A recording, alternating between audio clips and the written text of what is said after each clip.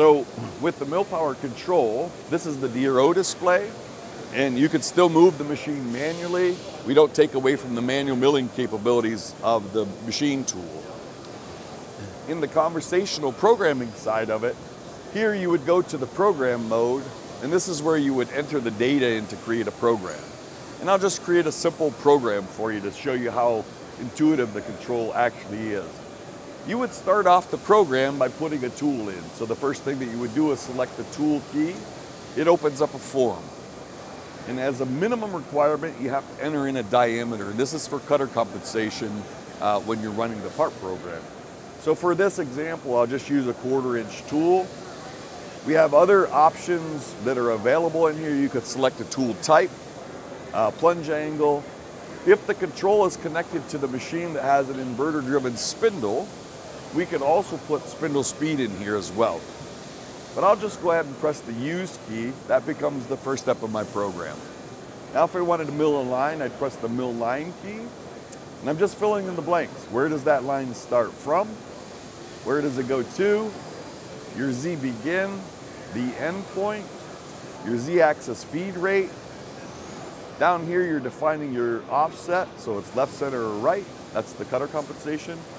And then how fast do you want to machine that line? We'll say 35 inches a minute. If I use that information, you get instant graphics, so you see that line that you've programmed right away. Now maybe I want to do an arc, so I press the arc key. It gives me the endpoint of the line where I left off. I just have to tell it where I'm going to with this arc. My z-axis stays the same. Maybe the radius of this arc is one inch. And then is it counterclockwise or clockwise in the machining direction? If I press use, there's that arc. To complete this cycle, maybe I just want to machine another line back down to zero. Then perhaps I would change my tool because I want to drill some holes. So I put a 100 thousandths drill in there. I would select holes to create a hole pattern. It's asking me what type of hole pattern do I want to create. Maybe it's a bolt circle. So now it's asking me for the hole pattern, where's the center of that hole pattern? What's the z-axis information of that hole pattern? The feed rate in which you want to drill these holes. What's the radius of the hole pattern?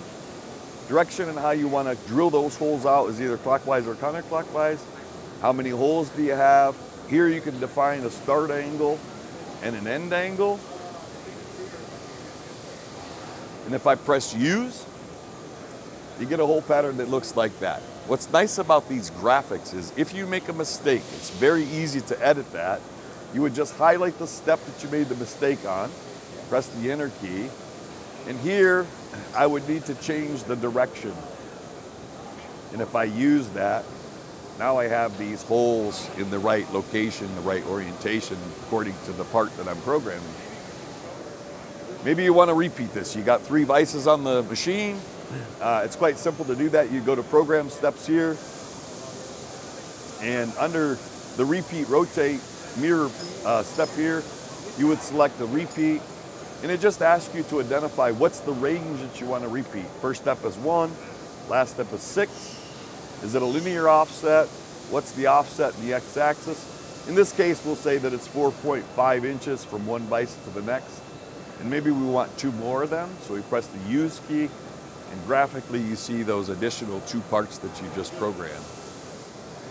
I'll highlight that and delete that step because maybe you want to do a rotate. So it's the same process. You want to rotate this part. So program, repeat, rotate, we're going to do a rotate. And again, it's the same process. What steps do you want to rotate? First step is one, last step is six. Where's the center of rotation?